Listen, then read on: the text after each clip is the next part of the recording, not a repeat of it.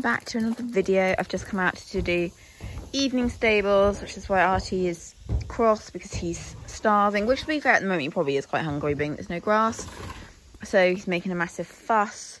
Um, that's what you've come to talk about. I wish you'd stop rubbing. I didn't order another itchy horse. Definitely been rubbing that of hers at the moment. Um, anyway, you'd have already seen from the thumbnail and the title what this video is about. Sienna is coming back into work. So she's had um, three weeks off, just under three weeks. And it's time for her to come back in. I actually said she might have a month off, but she's got really bored really quickly. And she really doesn't particularly like having time. So angry there, aren't you? So angry. Oh dear. Um, she doesn't really like having time off massively. She she just doesn't really like the lack of interaction with her. It's not that I obviously don't do things with her. I bring her in every day. You know, she gets groomed, but she really misses doing stuff. So we decided three weeks was enough for her, really. Um, so she's going to come back into work. What are you doing? Don't you start doing that.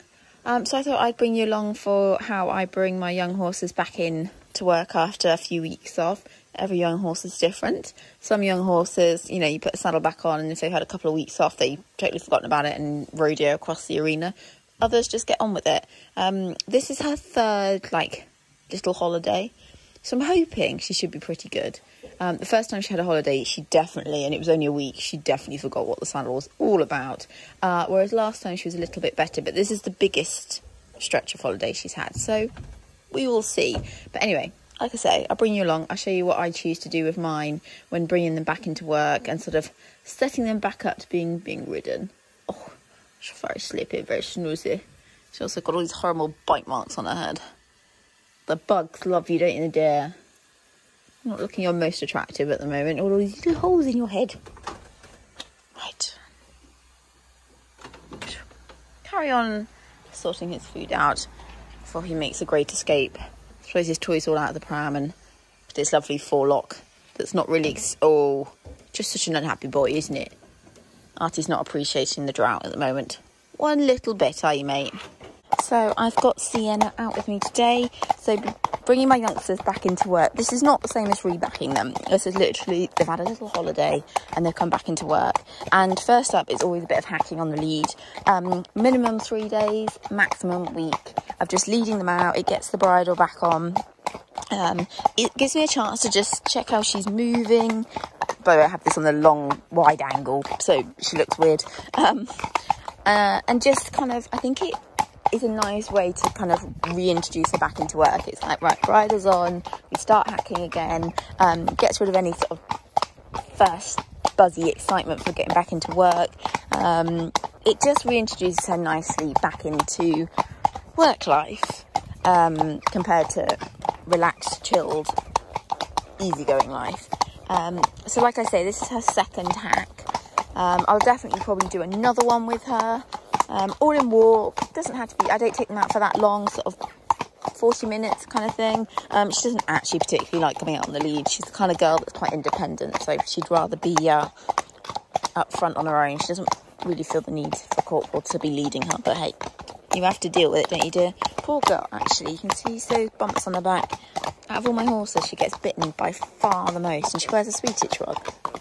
Um, Artie, hardly ever. Corporal, every now and then. Normally it ends up in a big swelling. Sienna, daily. So Sienna has done her hacking on the lead. Um, she only managed three days. She was getting bored already. Um, and so today I'm going to give her a lunge. I don't love lunging, but in this case, I'm going to put the saddle back on her. She hasn't had it on for over three weeks. So put the saddle back on. You're eating out the rubbish pile. Lovely. Um, and just pop her on the lunge, not particularly long, 10 15 minutes, just so she gets used to the saddle being back on her. Which I think while I think while she's had her little break, uh, she may have grown again. I chucked her out thinking she needed to do. I'll, I'll zoom in so I'm not on the wide angle. Um, because she needed to do a little bit more growing. She had just started to, but I think she's continued. So rather than evening out, she's just continued to get big because that bottom is definitely higher than the wither. I've just literally finished watching um, the World Championships. Actually, do they call it the special, the normal Grand Prix? I can't think now. Anyway, and Lottie Fry has just won.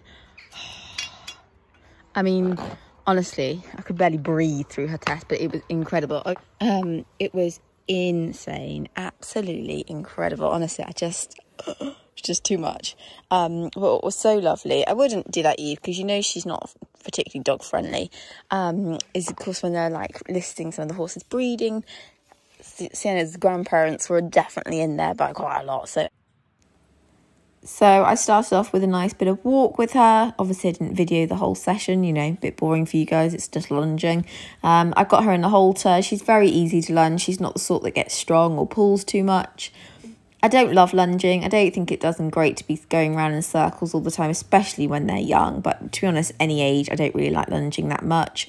Um, so I kept this very brief. The arena's not in great nick either at the moment due to the lack of rain, so it's very dusty and it's just not particularly nice.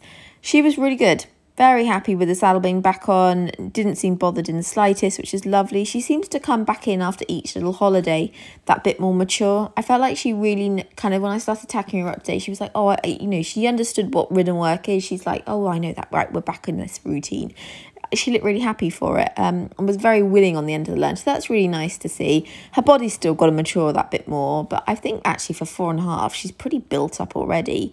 Um, I think she's going to be a full up 16-3 by the end of it. Uh, on this rein, you'll see she looks like she slightly scoots her bottom underneath her and it's because the stirrup fell down on the other side. Um, and she just kind of went, ooh, like that. And sort of, um, it did fire her off a little bit, but she didn't do anything, bless her. Um, and she's always been a little bit touchy like that. Um, so yeah, and then at the end she just had a walk around. Like I say, she did about 10, 15 minutes max. Probably won't lunge her again now until I actually have to get on the next steps will be to just long reiner. So I'll put the stirrups down for that and um, yeah, probably long, long reiner a couple of times and then get on. But all in all, very, very happy. And she seems super chilled and pleased to be back in work, I would say. She was a good girl.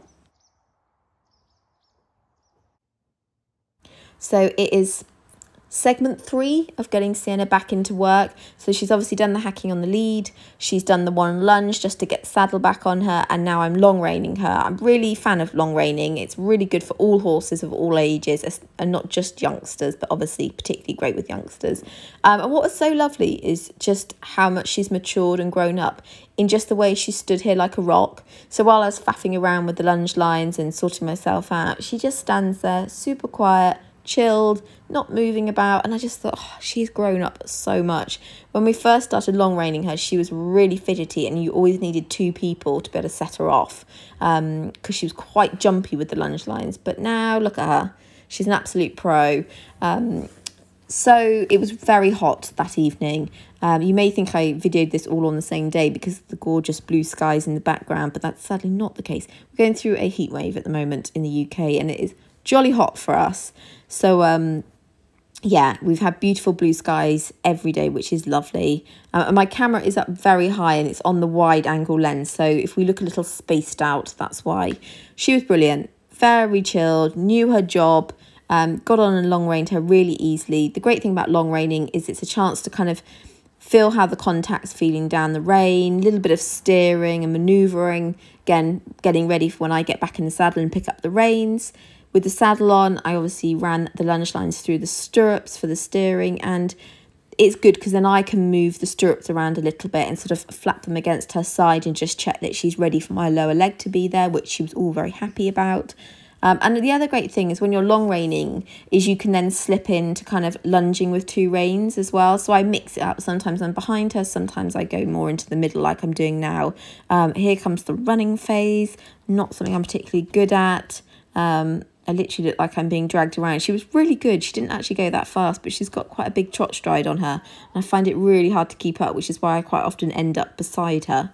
Um, but the other great thing as well was that I just tripped over the pole. Yeah, you might have seen that. I think I spooked her into canter by tripping over the pole as well, poor girl. Um, is the bend. Some really lovely bend with her on the long rein. So overall, really chuffed. And the next step is getting on. This is my final segment in getting back on a young horse after a holiday. Uh, so first of all, just start off by giving Sienna a little bit of a lunge with the stirrups down. Obviously, just in preparation for me getting back in the saddle. I probably didn't lunge her for more than about two, two and a half minutes. She didn't need much and it was still very hot that evening. Um, so she was already quite sleepy.